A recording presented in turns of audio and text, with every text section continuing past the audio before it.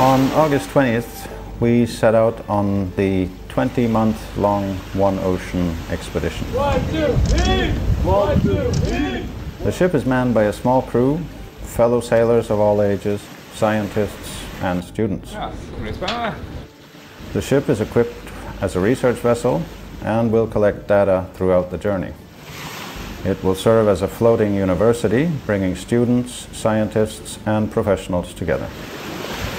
The goal is to create attention and share knowledge about the ocean for a sustainable future.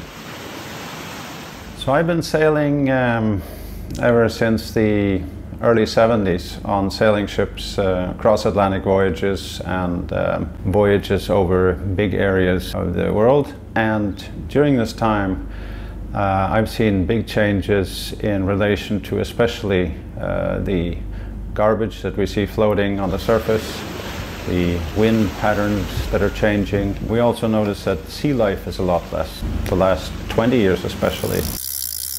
Catching fish is, is very difficult. On this voyage uh, of more than 30 days, we've only caught three fish so far.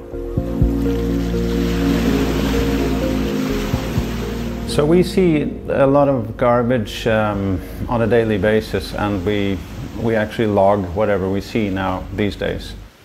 Det bare har gått en dag med vakter, og det er allerede en side fylt opp i boka med søppel funnet i havet. Det er plast, plastposer. Det er nok mest av det som har blitt loggført. Jeg ble litt sjokkert, egentlig. Ehm, Det er jo midt ute på havet, og så allikevel er det plast som vi ser hele tida. Det er trist. So seeing all of this, the garbage around us, the, the wind pattern change and temperature changes, and um, the diminishing fish and, and sea life resources, we're definitely worried because this uh, cannot continue the way it's going. You heard our captain. He's worried. This is urgent.